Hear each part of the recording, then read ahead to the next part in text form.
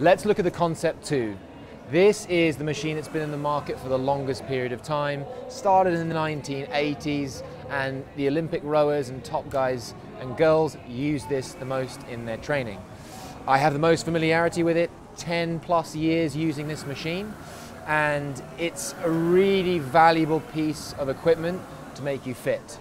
The big positives it's durable, it's reliable, it's cost efficient, so it's about 860 quid new for this version. You can also rent it, about 15, 20 quid a month.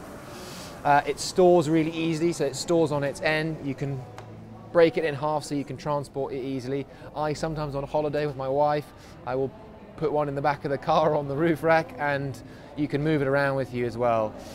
It's a fantastic piece of equipment. Things to consider. I think that the user display can be improved, um, particularly around gamification and getting people that are potentially not used to sitting on a machine for long periods of time, using it with a bit more gamification and a bit more engagement on apps.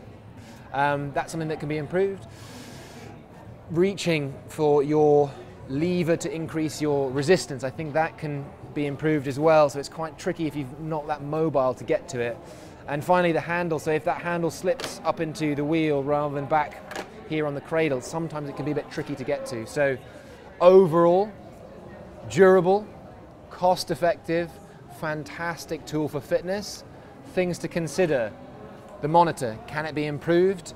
And ease of access with handle and damper resistance setting, can that be improved?